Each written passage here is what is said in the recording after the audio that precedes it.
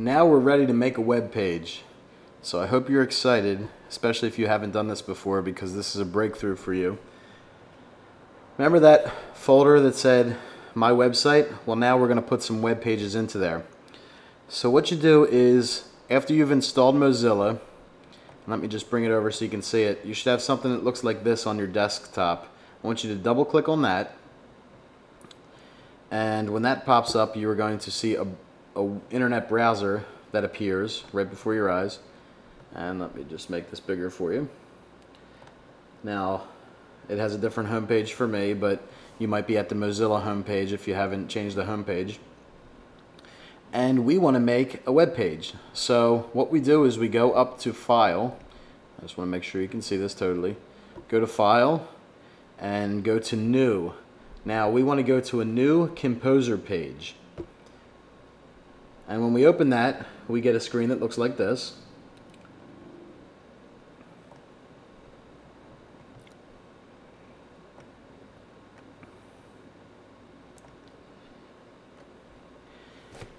And you see it's very much like a word processor where the blinking cursor you can type in some text. So I'm going to call this web let's say my first web page.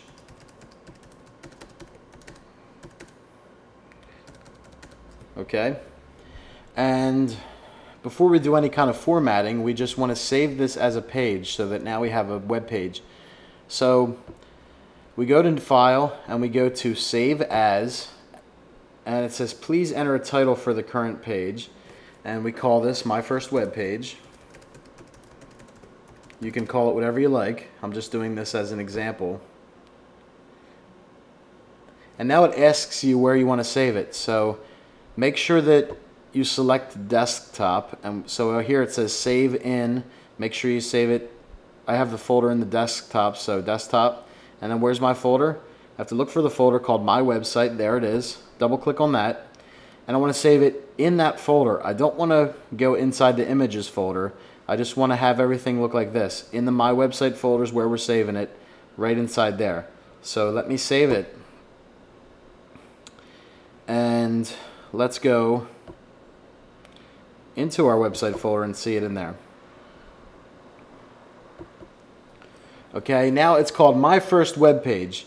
Now, whenever you have a folder, and this is just a little, little tip here, in a folder, the website browser automatically knows to go to a file called index uh, by default. So you always want to make the main page in the folder called index. So if somebody were to go to your website and they were just to type in the website.com, it's going to know to go to the index file. So for now, uh, just get into the habit of creating the main file in that folder as the index file. And then you're going to have other files, uh, web pages that are linked to from within that index file. So the index file looks like every other web page, but it's the main web page that people are going to go to when they access your website. So let's click on it and see what it looks like as a web page. Now you're going to see something very similar to what we were doing when we edited it, when we created it. But now look, uh, there's no blinking cursor. I can't edit this. The tools aren't up here and that's because this is the web page. And when you're on websites, you can't edit the content. It's just however it's been created is how you can view it. So you saw that I typed in my first web page, and it looks pretty much the same as when I was typing it. It just doesn't allow me to edit it. Now let's look at our notes, and we've created the page and we've saved the page. Now the address of the page is also important. Remember I called this let me look back in the folder. This is called index.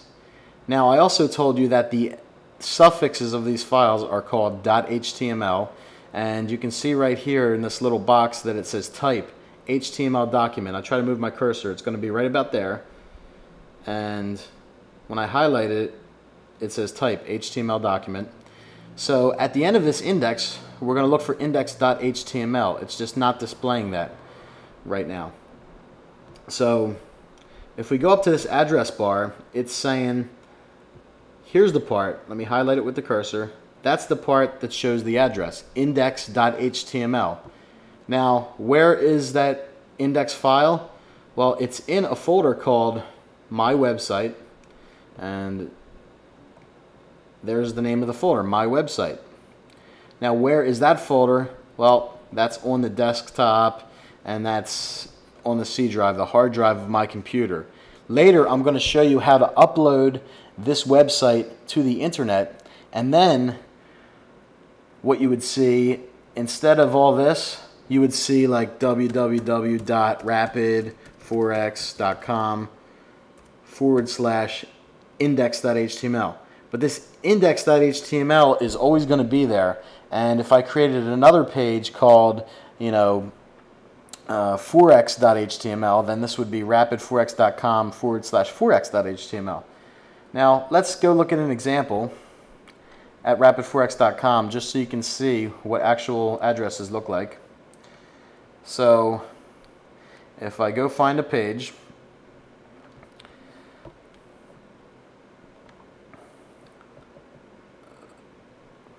let's go to 4x Classics. And as you can see, here's the address. You've got the http colon slash slash www.rapid4x, but that page is called classics.shtml. Now remember I told you that there were three different file endings, HTML, HTM, or SHTML. This one is an SHTML, but it, it could very well look like an HTML. And here's the file name, classics.shtml.